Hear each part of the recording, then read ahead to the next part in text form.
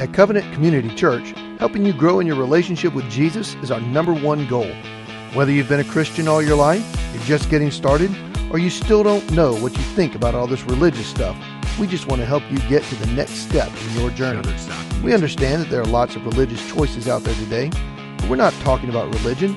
We're talking about a relationship with God. Unlike religion, this relationship isn't based on what you do to measure up to God's standards. It's about what God has done for you. You see, the Bible says, For our sake, God made him to be sin who knew no sin, so that in him we might become the righteousness of God. Isn't that great? What we couldn't do for ourselves, God did for us.